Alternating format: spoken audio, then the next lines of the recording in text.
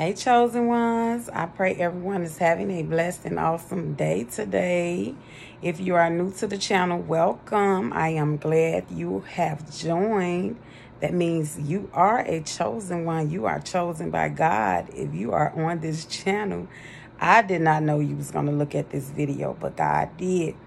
Today, I want to talk about getting rid of, rid of those friend enemies, discerning the spirits I have had a dream and I have had this prophetic word, discern.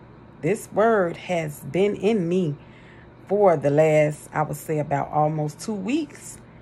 But it has literally been in my head all day, discerning the spirits. So I want to tell you all a little about a dream that I had this morning one of the dreams. If I told you all of them, we'll be on here all day. But in in this dream, it was a friend, and the crazy part about it is, it is a old friend, a friend that I no longer talk to, but she was in this dream. And in this dream, I am at the top of the stairs, and this lady is walking past, and she's yelling. She was like, "Who is anointed? Who can who can heal?" And so I yell from the top of the stairs. I'm like, me, I could do it. So I run down the stairs to her, and she is pushing her brother in a wheelchair, and he is also blind. And so she goes in the house with her brother, and she have me to wait. So I am waiting, you know, and while I'm waiting, you know, some type of way I ended up in the friend's car. So we sitting there waiting. And then she just pulled off before I could even you know, heal the man. So, well, we know Jesus is doing the healing, but before I could lay hands on the man, because Jesus does the healings, not us. Let's not confuse this. And so, what I want to say about this dream is this was a friend. In this dream, this was a friend, but she pulled off before I could even lay hands on this guy. I am um, recording right now before I could um, even lay hands on, you know, this man.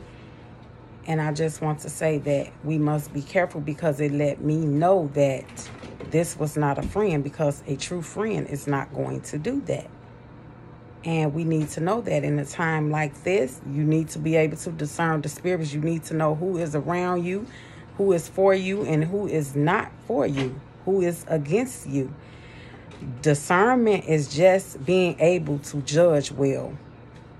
You are having the ability to judge well. That is all discernment is. So we need to know this. We need to use this in life because you need to know who is around you. You don't want to waste time with the wrong person, with a person that is not for you, with a person that is not meant to be in your life. So we need to know. So I took this video along with the others very serious. Very serious. Not knowing, I'm sorry, that's my baby girl. Not knowing if someone, you know, is going to come around me that is not supposed to be around. But I took this as God letting me know that he want us to be careful. He want us to be careful because it could be people around you right now that you don't even know that is up to no good. People come in your life for different reasons, for different seasons.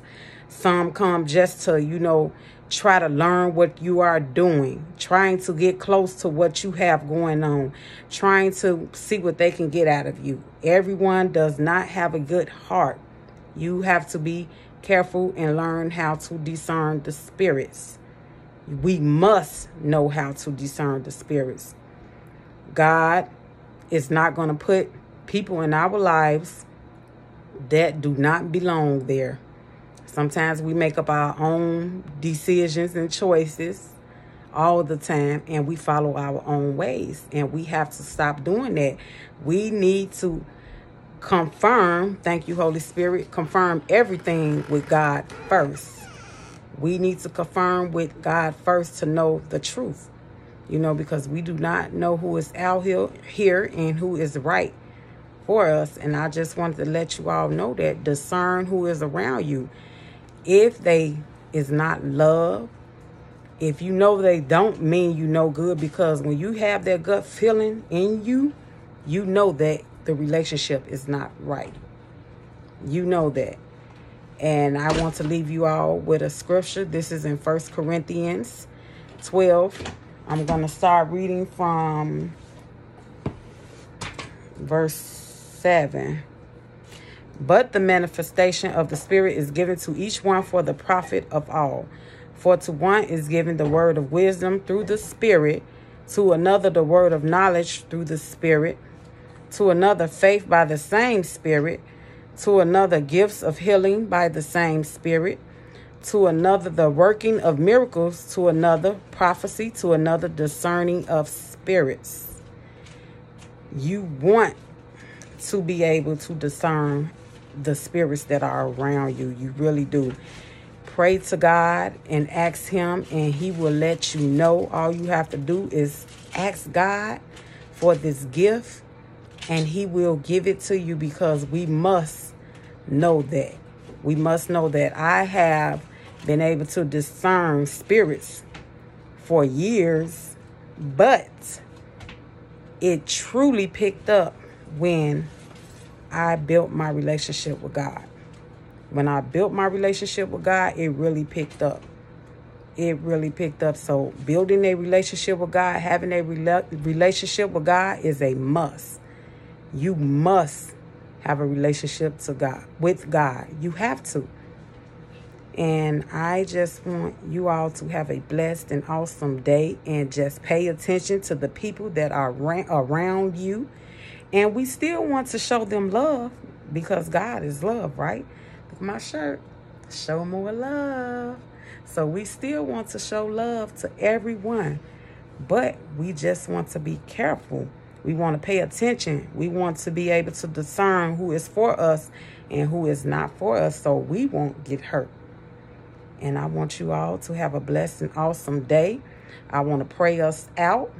Father God, in the name of Jesus, who is whoever is listening to this video under the sound of my voice, I pray that they get a good word where they get good understanding and knowledge out of this video, Father God. And if not, they will seek your face, Father, in the name of Jesus. If they don't understand, they will seek you, Father, and ask you what they do not understand in Jesus' name, Father God. They will be able to discern the spirits that come around them, Father God. They will know who is right for them and who is wrong for them, Father.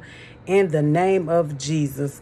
In the name of Jesus, I pray blessings, Father God, over them, Father God, over their family, Father God, over their household. In Jesus' name, I pray. Amen. Thank you all. Thank you all. I pray you all have a blessed and awesome day, and I will see you all in the next video. Blessings.